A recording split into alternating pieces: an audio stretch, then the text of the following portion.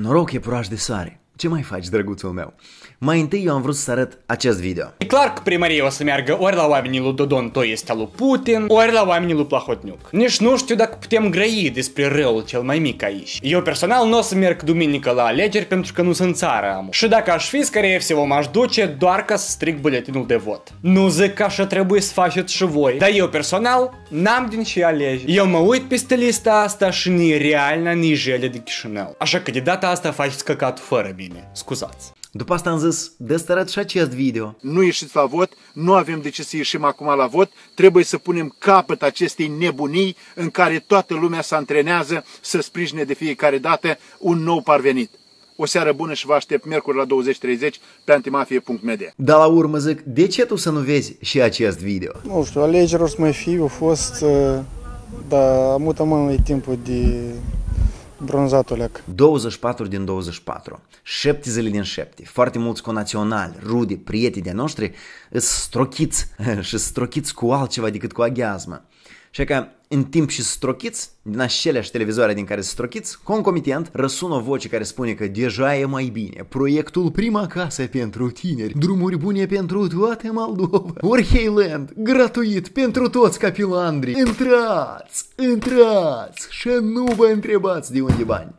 Iată, scuzați. Și eu devin și mai trist, pentru că știu că există o rană și rana asta trebuie de lecuit, doar că apare vloggerul Iliuha Plămădeală sau analistul politicianul Sergiu Mocanu și ne spun nou să stăm acasă, pentru că rana e singur să lecuiese și fără noi. Dar dacă totuși nu să lecui, ce facem după asta? Am putem până la gât în sus? Sincer să fiu, la început am vrut să vorbesc doar despre Sergiu Mocanu și Iliuha Plămădeală. Pentru că ne pare important ca un om care este urmărit de zeci de mii de oameni și care uneori ne tălmășește nouă despre recenta schimbare electorală, este important ca anume acest om să îndemne pe ceilalți să meargă la vot. Asta unul la mână. Și doi la mână, pentru că este incorrect, greșit, rupt de realitate, super destructiv ca șeful unei mișcări politice, Sergiu Mocanu, în cazul dat, să îndemne pe cei care îl urmăresc, să promoveze și susțină absenteismul la alegeri. Tu azi vrei să candidezi într-o bună zi. Cine schem să te voteze? pe oamenii cărora le spui să fie indiferenți, dar în loc să le vorbesc pe larg domnilor de mai sus, am zis des să mă adresez celor care vrei, nu vrei, împărtășesc poziția lui Luca Plămădealu sau lui Sergiu Mocanu sau altor oameni care decid să nu meargă la alegeri. Hai să le luăm pe rând. Așa care ne îndeamnă să nu votăm au câteva argumente. 1. Eu nu votez pentru că votul meu nu contează. Uh, Vapșeta, bratan, asta votul tău nu contează pentru că tu nu votezi.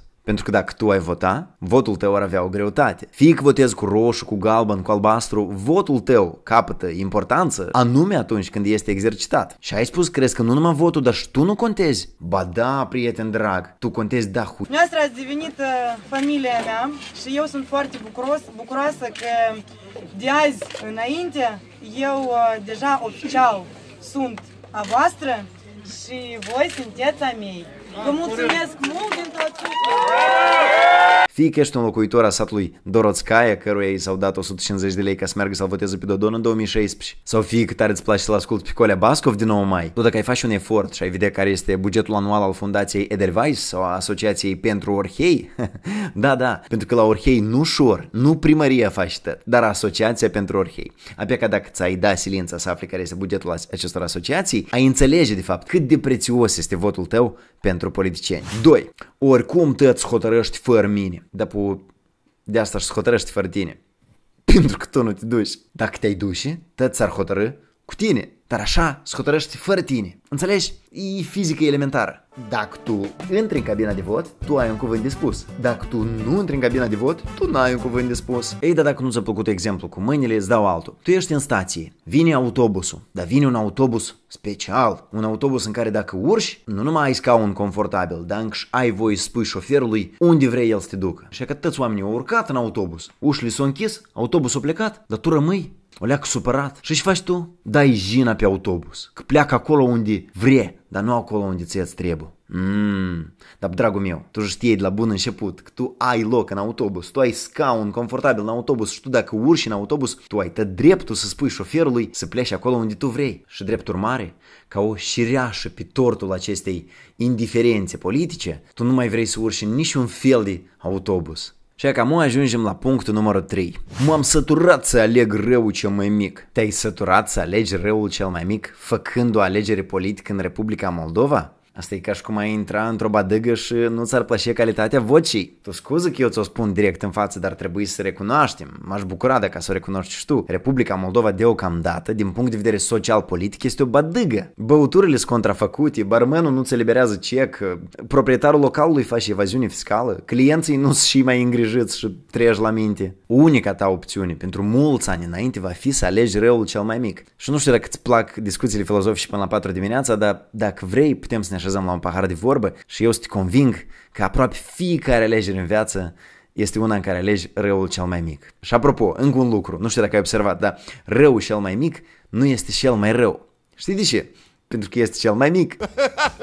și ultimul lucru pe care vi-l spun, pentru că simt că ar putea să apară comentarii gen Ue, patriot, hui, hui, hui, șol, n-ai închide gura, tu nici măcar nu ești în Moldova și ne chem pe noi la vot. Da, eu nu sunt în Moldova, dar tu nu te-ai gândit că pe internet, în afară de a trage o drocică bună sau de a afla zodia în care e Megan Fox, ai putea să mai și faci comunități în care lumea să ajute reciproc sau poate împărtășesc, promovează niște idei? A?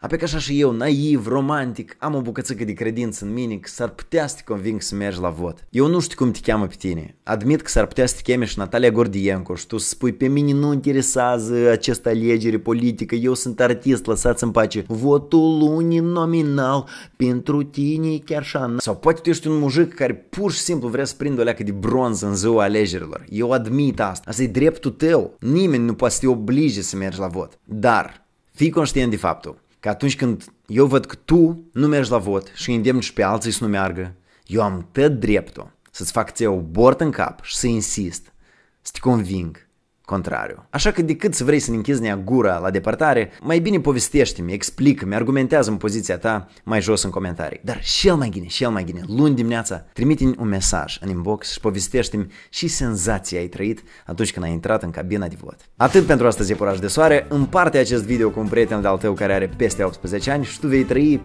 peste 18 ani. A, în sens că fericit, fără scârbă n-așternut-se de la. Apăsați butonul like, share, report, subscribe și haideți să trimitem împreună un mare mulțumesc patronilor emisiunii Lumina care m-au susținut în luna mai. Pentru că datorită lor, acest produs mediatic există. Ne vedem în câteva zile la Chișinău. Pupcei!